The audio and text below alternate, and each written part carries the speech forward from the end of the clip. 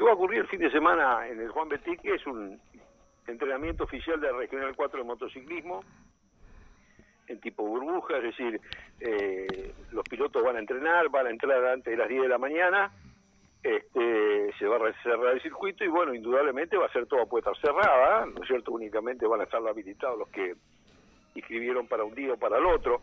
Es decir, totalmente no está definido el tema si se va a entrenar sábado y domingo o se va a entrenar domingo solo, todo depende de la cantidad de pilotos que en cierta manera eh, se inscriban para venir a entrenar. el ambiente está bien, supuestamente pueden llegar a venir un montón, pero o buena cantidad, pero no se sabe si se va a entrenar los dos días. No, tendremos un tope de, de 65, 70 motos por, por jornada, así que por lo tanto, si superamos ese, eh, la regional supera esa cantidad, este, habilitaría los dos días, de cualquier manera está escribiendo para sábado o domingo. Es cierto, hay pilotos que pueden venir el sábado, hay pilotos que pueden venir el domingo.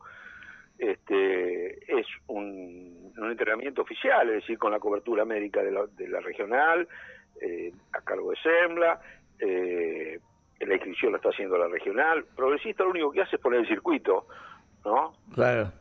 Y tienen, eh, Jorge, te pregunto, eh, ¿Esto es para quienes habitualmente corren el CAM o los regionales o ambas cosas? Sí, están habilitados para entrenar el CAM, eh, los zonales del centro los zonales, y del de San Cristóbalense. Las tres categorías están habilitadas para, para entrenar el fin de semana, ¿no?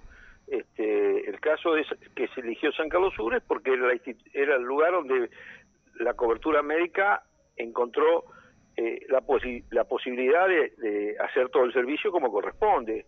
Eh, los otros circuitos o un lugar o una cosa o la otra no le permitía hacerlo. Entonces acá tiene la, derivación en el sanatorio y bueno, tiene la derivación en la Santa Fe, está todo habilitado. Entonces, desde ese punto de vista, ya te digo, y el piloto que llega, llega a la pista y se va de la pista y se va a su casa. No se permite pernoctar el sábado a la noche. Es decir, se tomaron todos los recaudos para que la situación sea lo menos engorrosa posible para nadie, ¿no? Ni para el piloto, ni para la gente que, lo, que va este, a hacer toda la parte eh, de sanidad y de recepción de los pilotos.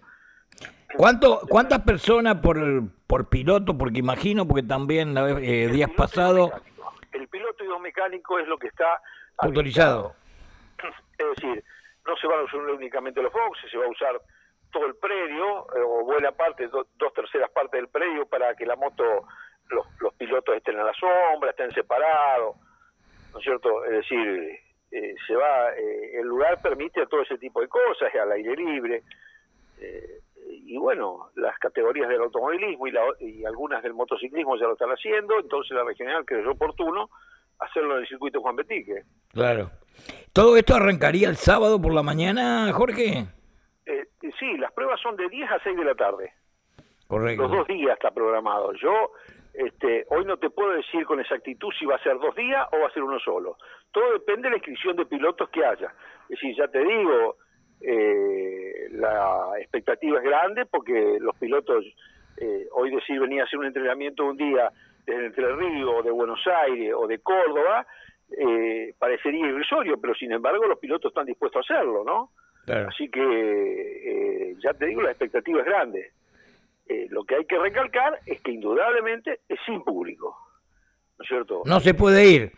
No se puede ir. Que vayan con el auto y se paren a... no, está, no va a estar habilitada la pista, no va a estar habilitado el estacionamiento sobre la ruta 6 en la parte oeste. Eso es lo que te, eso es lo que te quería preguntar.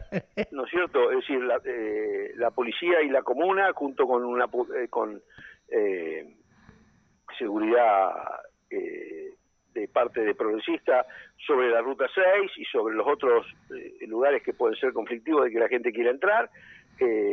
Unión Progresista ya tomó los recaudos junto con la comuna y la policía como para que no ocurra es decir, eh, y lo que realmente uno pide es que, si es posible, de, todas maneras no va a tener ingreso a la pista, así que eh, sería muy incómodo que provoquen una situación sobre la ruta. Claro. Que, ¿Me entendés? Yo creo que esa es la, finalidad que tiene todo esto. Que entiendan que, que, no se puede y que, bueno, ¿qué va a ser?